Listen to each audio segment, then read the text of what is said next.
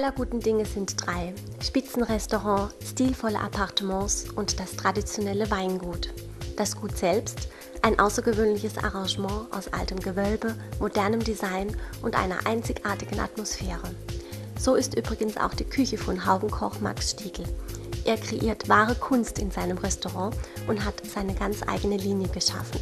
Traditionelles und Klassisches wird mit viel Innovation à la Max zum kulinarischen Kunstwerk.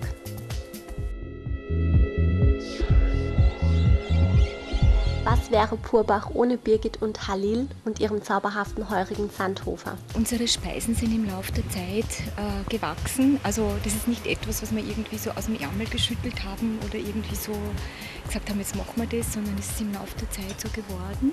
Eine kleine Vermischung aus heimischen Produkten mit mediterranem Flair. Ich würde das irgendwie so bezeichnen.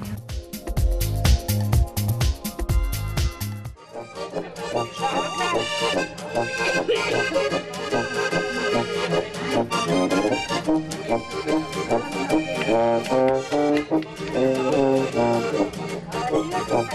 Thank you.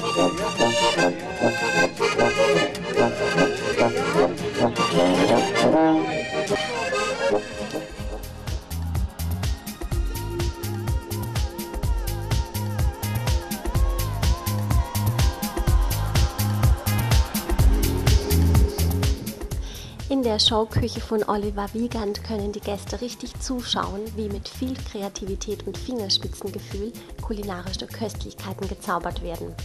So zum Beispiel die Kartoffel-Specklinsensuppe mit Krammelknödel und danach gibt es einen gebackenen Ziegenfrischkäse in Honigpfeffer mit lauwarmem Kürbis-Linsensalat.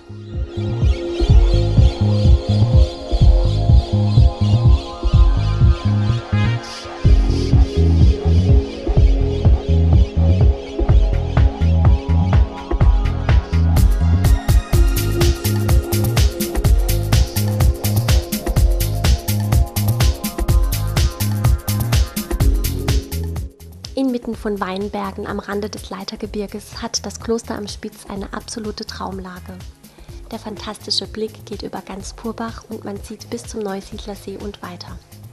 Das pannonische Lebensgefühl findet sich hier im Kloster am Spitz nicht nur in der Philosophie des Hauses, sondern ist auch in jedem einzelnen Bereich der Trilogie von Weingut, Restaurant und Hotel zu spüren.